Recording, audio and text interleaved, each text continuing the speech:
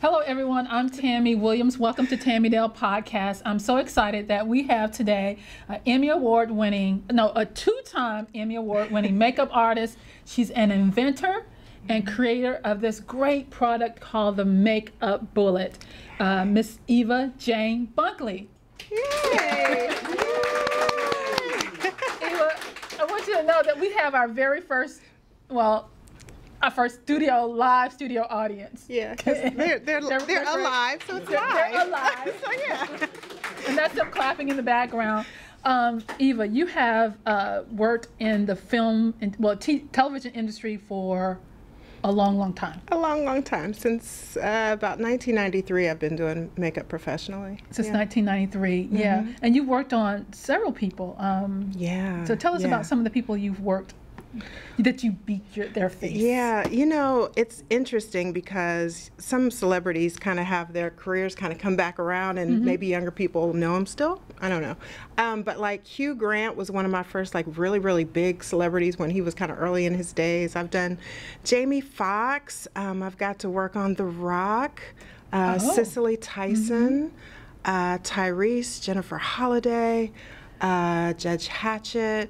Um, let's see, Randy Jackson, Mr. Jackson. Yeah, I got Yeah. to work with him for some shows. A whole yeah. slew of people. A whole slew of people. It just kind of varies. Usher. Um, just Mm-hmm. throughout the years, you know, people cross your path. Donny Osmond, I got to work with him a couple times for projects. So, Yeah. yeah. How did you get started in the industry? Um, Um, you know, when I finished um, school, I thought that I was going to go into wardrobe. My major was uh, textiles and clothing, and I wanted to be a. we- They said, you know, wardrobe stylist, fashion stylist, and I did it for a few sets, and I really didn't like the work. I just didn't enjoy it like I thought I would, and I was like, I don't think I could do this for years and years and years, you know. Okay, and um, I did makeup too.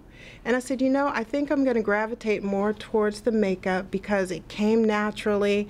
I was still in the the, the go go go atmosphere, the kind of uh, I guess the sexy atmosphere of, of being on sets and everything. And everybody thought it was such an exciting life. You know, my friends in Ohio were like, oh, I want to move to Atlanta. That sounds so fabulous. um, so I was still in the industry and still um, just. I don't like sitting still. And I think that's one wonderful thing about production because it's always just constantly changing. Yes. Yes. It is. It is. It is. So, what has been, um, say, your most rewarding experience on set? Because you've worked in television, and first, let's talk about how you um, you you've had an opportunity to work in film. Yes, I've Actu- worked in film. But film you some. decided that you didn't want to go that route of working on film. That you wanted to stay in television, Yeah. and you're doing TV right now, Yes. and um, uh, you work with like news. You do a lot of news network, and you do interviews when Mm-hmm. you know. Exactly. I'm still a freelancer. Mm-hmm. I um, used to work in the local news market here in Atlanta, Mm-hmm. like on a regular basis, like Monday through Friday. I was doing the anchors in the morning and then the evenings, and um, that was it was a lot. It's Mm-hmm. it's like a very very intense pace. Um, I did morning news, so I had to be in bed between 7 and 9 p.m. if I wanted to be fresh in the morning. And um, but I liked just knowing my schedule. You know, I liked the predictability of it. Um, so that was one reason that I did not want to get into film because I was a little spoiled by my hours. I worked about uh, six hours a day, and then I was done. Um, and I had the middle of the day free. And I knew that um, when I went into working on film sets, sets it wasn't the same. So I, I have very, very close friends in the industry who work in film. So I tell them, you know, I'll day play, but, you know, I don't want to be on for six weeks at a time. Right, right. Um, it's just wasn't something I wanted to do. And you had started a family as well. Yeah, that was a I- big part of that was a very big part of it. Um, I have two sons, and they take a lot. They're very active, and I like picking them Mm-hmm. up from school. I like um, being at their their events. I mean, Mm-hmm. and they know. They know mom will be there sometimes and won't. Like this morning, I was at the game all day until it was time to be here. Yeah, so yeah. I like the flexibility of freelancing. Um, sometimes the unpredictable nature can be challenging because it's hard to commit. Mm-hmm. When you commit to something, it really has to be something that you would say, okay, if this money comes, I'm going to say no to it. Right, because Yeah. it's freelance business. And for those of you who are wanting to get into the industry, uh, two things. Um, it is a freelance world. You're all you're looking for your next gig. Yeah, yeah. Um, but I like the choice that you decided to make. Um, the goal is to find your niche. I always say there's a place for you in the film industry if you decide to be in it, in film slash television.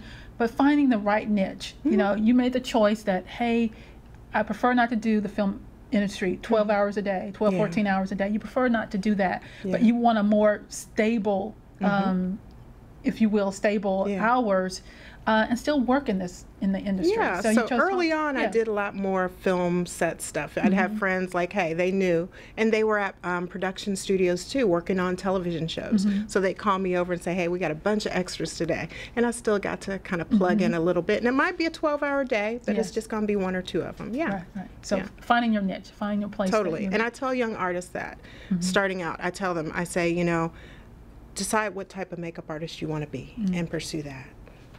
Yeah, and there's a whole range of things. Not only are we Oh, talking about hours, we're talking about if you want to work in special effects, if you want to do straight beauty makeup. Mm-hmm. Yeah, what if do you want to be someone's personal. Person- And I did that for a couple different people for like years, stre- years long stretches, Mm-hmm. Yeah. and um, and that's its own beast too, Mm-hmm. because their schedule is your schedule, so your life is kind of second to what they're doing, and you have to be on call. So. Mm-hmm. Oh, yeah. But that, that could be pretty fun too sometimes. Oh I'm sure. yeah, especially if you're working with somebody who's you know kind of at a high point in their career. Mm-hmm. You're going to be traveling a lot with them, going different places, meeting different people. So you know. It, it's just a myriad of possibilities when it Yeah. comes to being um, in this art, this Mm-hmm. creative environment, this world of production. Yeah, yeah, Yeah. And this is this is art, you know. It I, I love it it. is. Because I watched her put her makeup on, and she's done my face at times, uh, and just kind of watching the whole process. Mm-hmm. And I'll say, Eva, can you do just something simple? You know, just just a little color in the on the eyes or lips. And I have to realize that my simple is different from her simple. my simple is taking taking uh, one brush, one color, and shh, swipe. That's it, right? But you know, as a makeup artist, she Mm-hmm. looks like today when she I was doing my makeup. We're in the same space, and she looks over at me and goes like, like that, like, what are you doing? I was no judgment. Go ahead and confess. No judgment. No. no, judgment. It's okay. You It's did okay. a beautiful job, didn't she? Yes, she did. Studio audience, clap it up. Thank you for the encouragement. I appreciate it. But I learned a lot from this lady as far as, you know, makeup and what to do and what not to do. Uh, but, you know, what's so great is that you just, yes, you, you went another step. Um, the makeup bullet. Now, the makeup Yeah. bullet, as you guys can see here, and I'm so excited. I'm so glad. I mean, uh, just so innovative. Uh, she, this makeup bullet is in what currently in Various beauty retailers on the east and west coasts, um, in the south. So yeah, you can find it Amazon, um, my website, themakeupbullet.com. Mm-hmm. You can find it, and in several different countries. several different I, I mean I, I love it um, Mm-hmm. when, i remember when you first you know started thinking about the makeup bullet and Uh-huh. and she would give me like the proto the, the ones that Little didn't come ones. out right okay okay so she's she okay, well she uh, these are like different ones different stages that Yeah, i think the i don't know which one There's was first Yeah, uh, and that's just look. the This is this is an early stage because that's just a block of foam. Hey, it's got to come. foam. It's got to come from somewhere. Yeah. Yeah. And I remember the ones that she would have manufacturers that she was like, no, it's not right. Tammy, you want this one? You want to use this one? It was, Yeah. you know, I was fine. Sure, you know, makeup bullet. But um, I love the way the makeup bullet works and um, how you, well, to talk about how you came up with this idea. Yeah. Yeah, and I've I've told this story a million times. I'm trying to find the Cliff's Notes version, but I was on set at the news station, and I was um, doing makeup on someone who needed to hurry up and get to set. And I am a messy artist. Everything is always spread out, and I'm constantly searching for something. And that searching, you know, it wastes time. And the thing that I found myself searching for the most was my blending sponge. So I'm like, you know and I'm getting frustrated, and the person in my chair is getting a little kind of antsy, like, okay, I gotta go, and I don't know what you're doing. So I was like, you know, oh my God, if this thing just could stay stuck to my finger, that'd be one less thing I'm looking for. And then it just kind of hit me like, ooh, you need to remember that. and I, you know, just did some searches, didn't see anything like it on the market, and was like, I want to create a sponge that just fits Yeah. snug on your finger. And um, it many many years later, it, it came into fruition. It was years in development in my heart to develop the courage just to think that I could actually create something that I just thought of in my head. And um, once I set out on the journey to do it, it took about a year from um, actual like ca- making phone calls to having it in my hand and them sending me like prototypes saying, "Hey, is this Yeah. what you had in Yeah. mind?" So Yeah, that's that's that's wonderful um, come, idea, and I know when we use it, we you can dip this in your blush, in your eyeshadow, Ring in finger. a I say ring finger. Oops, ring finger. Now, when you're doing makeup, this is a little tip for y'all. The ring in the middle, those have the most delicate touch. So when you're working around your eyes, Mm-hmm. your ring finger in your middle, the index finger is your your strongest, so it Okay, can you know do damage. But you know, some people stick it on their index anyway because it's about you know where you feel comfortable and where you feel you have the best control. Yeah, Mm-hmm. yeah, I love that. Can anybody? So this is not just for professional makeup artists Oh, like yourself, but no. someone like me who say I'm in a hurry in the morning, and Exactly. because you can dip this in from and then just, you know. look, I can hold my cell phone. Not that I want to hold my phone while I'm doing my makeup, but Mm-hmm. I can hold, say, another tool. I can hold my mascara. I can Mm-hmm. hold my lipstick, and it's I, it's speeding up my routine because I don't have to constantly, you know, pick it up, put it down, pick it up, put it down, and it lets me multitask. So I'm not Mm-hmm. Committed to just holding this sponge in my hand. Yeah, So that yeah. was my idea behind it. You know, just yeah, women on the go like us who are constantly, you know, moving. Yes. It's just like you want things that are going to give you a few more minutes to do what you really want to do and get on to your, your life, or even just Right. stay in bed a couple extra minutes, whatever Right. that is. Yeah, I love it. So just a little touch. Yep, just a go. touch. Yep, and the point makes it great to get around the eyes. Mm-hmm. So it, and then when you bend your hand, and I had um, a gentleman who gifted his aunt. She's an elderly woman, Mm-hmm. and he said she's an old diva, and she couldn't hold her um, makeup brushes like she used to because she was having some arthritis Mm-hmm, and dexterity issues. And he gave her the makeup bullet, and she put it on her finger, and she said, "Oh my goodness," she said. I can apply my makeup, you know. She and, yeah. and so stories Yeah. like that are like, okay, I am so glad that I just finally got out of my own way and stepped out and did it. Yeah. Yeah. And when you, and she actually has the. In fact, let's go into our, our Oh, dream we're box here. the dream box. Um, Yep. things that are like defining moments in her life. Okay. And let's see here. You want the Let's- first one? Yes. Okay. This one of these little girls right here. Your Emmy. Yes, this is one of my my Emmys back in um, 2001 and 2002. Okay. Those are when I won my Emmys. Beautiful. And um, this is one of them. The other girl, you know, I realized they don't travel so well, and her wings broke. I have to get. I have to see if I can get her replaced. I Her wings Her broke. wings broke. I was so sad. Oh my god. But that, that doesn't mean she loves you less. no, she just she won't fly away. She won't fly away. Okay. It's pretty so heavy. It, it is. It is. Yeah. Okay, so we need to replace the the other one with some more wings. Uh, yeah, Glory. might upgrade. okay. Who knows? Um, let's see Uh-huh, what that- else. that- well, I actually took that. That's okay. Well, this was one of the first prototypes. You know, they just use whatever foam that they have available just to kind of get the the um, the process down.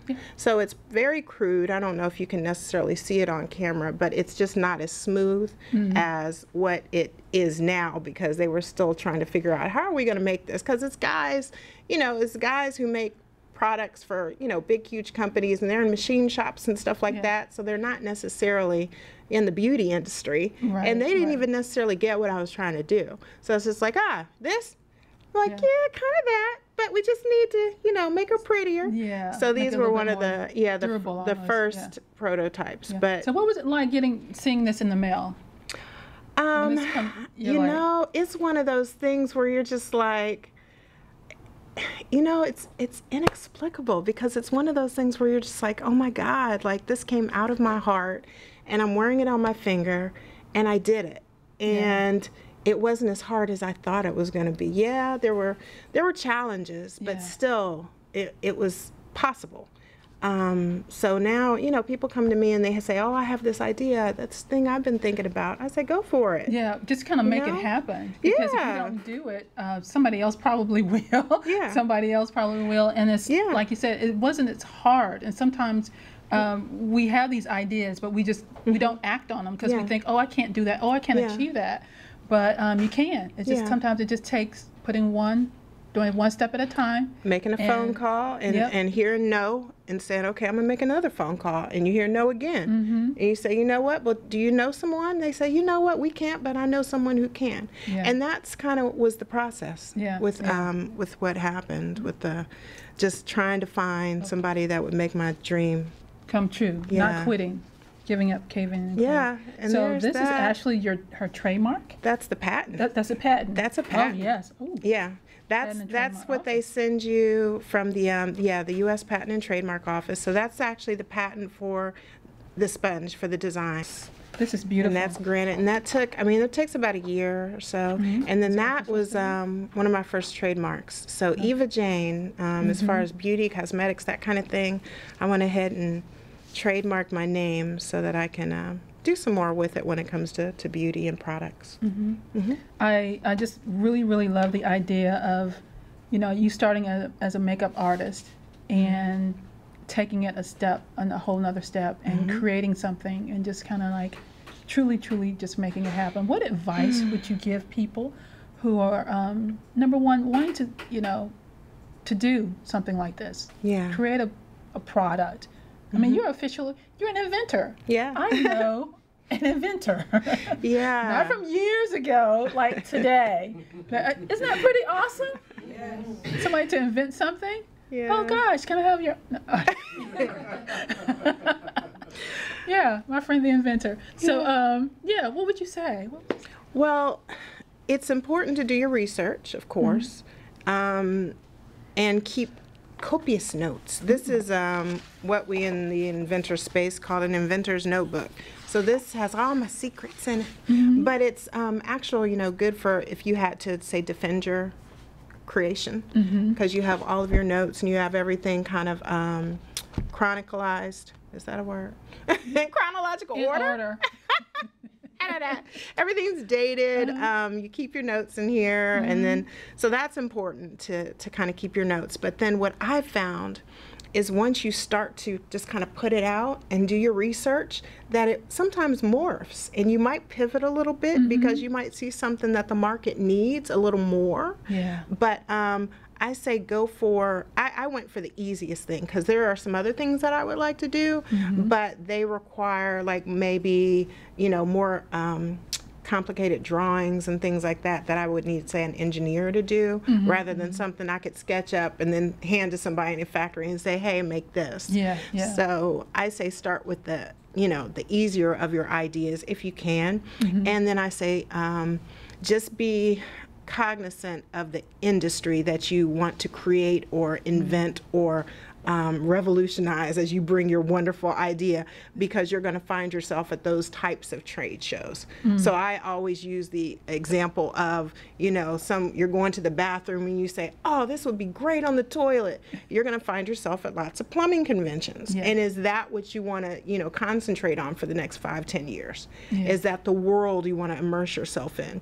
So think about that. So I'm in the beauty industry. So what I did was related to my industry. So I'm just around my peers. I'm ar- around people who, you know, speak the same language. I've been mm-hmm. here for a good 20 plus years. So it's it's comfortable for me, and I'm not relearning a mm-hmm. lot of things mm-hmm. because when you are outside looking into an industry as say a layperson um, you might have some ideas that they're like oh yeah we, we solved that 15 years ago and we decided that we didn't need that because now we have this so it's it's very important to do your research to see is it even something that the industry needs Yeah, you know but since i was in the beauty industry i'm like yeah we kind of do need this Okay, okay. You know what? Let's talk about for a few minutes. Um, uh, you mentioned having this book so you could keep your notes. Now, you have went into certain retail stores mm-hmm. and looked on the mm. shelf yeah and saw a product that looked like the makeup bullet, mm-hmm. Yeah. Probably smelled like it. and people thought it was, but mm. it's not. So those are called knockoffs. knockoffs or dupes, short for duplicate. And if you buy one, you've probably been duped because it's not the same experience. The makeup bullet, I um, purposely wanted to manufacture locally, um, source in our region in the United States because I did want a lot of um, quality control. And just like I showed you, kind of this block of foam, I have many blocks of foam that were mailed to me from many different manufacturers because there was a certain quality that I wanted, a certain texture. And this is one of the only well, this is the only premium sponge out there that's designed for dry use. So a lot of those sponges out there, you're supposed to wet them. Um, and part of that is because, you know, to open up the pores so it won't soak up all your product, and that's like a big thing. But the makeup bullet doesn't do that. Um, most of the well, all of the copycats, the knockoffs, the dupes that come out, that have come out since I put my product on the market, um, they're from China and they are basically just throwing something onto the market that is like the makeup bullet. That's the the sponge that you put the finger sponge that you put on your finger and they'll put their their company name on it their brand name on it. And so i've sent out lots of cease and desist and i'm cur- currently looking at legal actions against a lot of those companies because there was no product like this on the market. And the first china company that i saw that advertised that they made a, a, finger sponge like my sponge. They used pictures that I took with my own cell phone, and they put it on their site and said, "We make this," and I'm like, "That's they use not your pictures my pictures from your cell phone from my that I you know put out." advertise. that I, yeah, in China, that they made my product. So when that happened, when that first happened, I said, okay, it's coming. I know it's coming. And it was maybe a year or so before I saw some companies, some stores that had, because then once they do it on those sites um, in China, then those other China factories, they say, ooh, this must be the new hot thing, and they'll copy it. So then you've got all these Chinese companies, and then when they do, when they already have companies that are buying from them in the US, they'll put these fake ones in the box and say, hey, would you like this too? We can make this too. This is the new hot sale. That's what they call it, hot sale, hot sale. So, you know, that's it's an issue, but for me, I'm like all I can do, um, for the most part, is focus on building my brand Yeah. and letting people know this was the original cosmetic finger sponge that fits snug on a finger, that is a wonderful quality, that is patented, and all of those others. Because what they try to do is work around your patent. So they'll do a little change. They'll like make this a little flatter on one side. They'll shave off just one little side, and they'll say, "Oh, it's different though." Come on now. They'll make the hole instead of a round circle. Oh, we're going to make it a hexagon. So now it's way different from what you did. So, but I mean, you can see the spirit of it is still malicious to me. I mean, the intent is still to copy what I did, to sell it for a half or a third the price and even less the quality. So, Yeah. yeah. So, guys, um, support um, the Makeup Bullet. Yeah. Look for the words "the Makeup Bullet." Yeah. Um, Unless it says it's authorized by the creators of the Makeup Bullet, because there's one product out on the market um, that is um, an authorized dupe, but all the other ones, yeah, they're just out on their own doing you know it's it's one of those things that it's par for the course because that's what that's why it's a bit challenging to be an independent inventor because huge corporations with multi-million dollars can come in and they'll just throw out crap and if you had this kind of small niche of a market and people who knew about you, there's all these others who didn't who are going to see their crap first. I don't Yeah. like that word. I apologize. But they're going to see the the yeah, the the dupe Yeah. or the knockoff. They'll Yeah. see it first and think, "Oh, this is new and innovative and amazing," Yeah. and then they get a bad experience from it. and They'll say, "This was a stupid idea," Yeah. but they didn't have, you know, from the heart of the founder, The original the quality. Experience yeah. and quality that I put into it, and all of the love and the effort and the time, um, and the vetting that I put into it to make it a quality product. yeah, Yeah. Wow. That's my soapbox. Thank you for sharing that. Yeah, thank you for letting Helps me. us to kind of support you even more Thank you. in your, your journey because we all have dreams and there's nothing worse than you having a dream and someone trying to snatch it away from you. Um, not a pretty thing. Haters. So what we want to do now, Eva, we want you to have a happy day. We have a happy box, and we want you to have a happy day. Okay, Uh, coming okay. out of this subject because you've done so many great things, and we here, guys, we're all proud of you and the work that you've done uh, in the industry. So, pull a card. Ooh. Pull a card from the happy box. Okay. You have your makeup bullet on. Mm. I'm taking this one. Okay, Mm-hmm. and pop it open. Okay. Pop, pop, pop. Yep, And if you could read it. Find what brings you joy and go there. Jan Phillips. Find what brings you joy. So And what do you think there. about that? And go there. Hmm. Well, I think when you are on the pursuit of your dreams, Mm-hmm. then that's what you pursue. You keep your eyes on the prize. And in that journey, you know, that's where your your joy is because if you continue to let the the adversity and those Mhm. types of things slow you down or take you off course, Yeah. then you're not going to have true happiness. So I think it's about it is about the journey, you know. It is, and there's there's nothing more exciting than working eight to ten to 12, 14 hours a day on something that you really love Yeah. versus something that you don't want, a place you don't want to be, Mhm. that you're not happy. It's so much time in our lives, Mhm. and I always say that we only get so much time, Yeah. and um, Yeah. so we want to make It's it precious. as precious and um, as joyful as can be. Yeah, and I like this word go. That's action. It's telling you, you know, it's it's a call to And action. go. Find what brings you joy and go, there. Go there. Go Go there. there. Go. Thank you, Eva, for joining us today. Thank you, Thank you, studio audience. Thank you, people at home watching. Bye, guys. See you next time on Tammy'Dele Podcast. Bye bye. Bye.